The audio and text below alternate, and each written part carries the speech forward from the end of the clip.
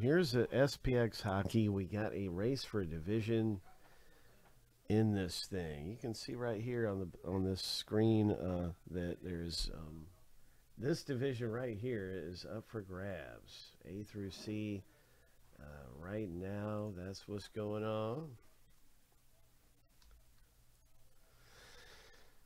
Okay, so Alden has got a little slight edge here. See what happens.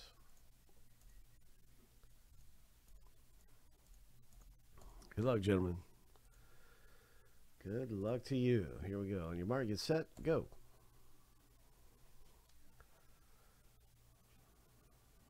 Anything can happen. You know it. I know it.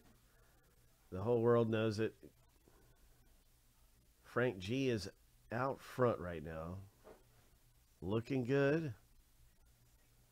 Looking good, Frank. Craig's coming up in the yellow. Watch out.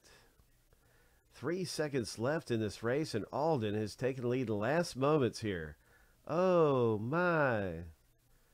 Ho. Boom.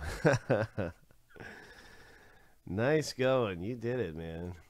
You did it. You just got that division for a fraction of the price.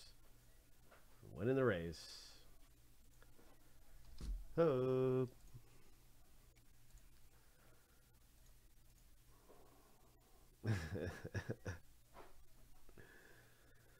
my, oh my, how things can change so fast.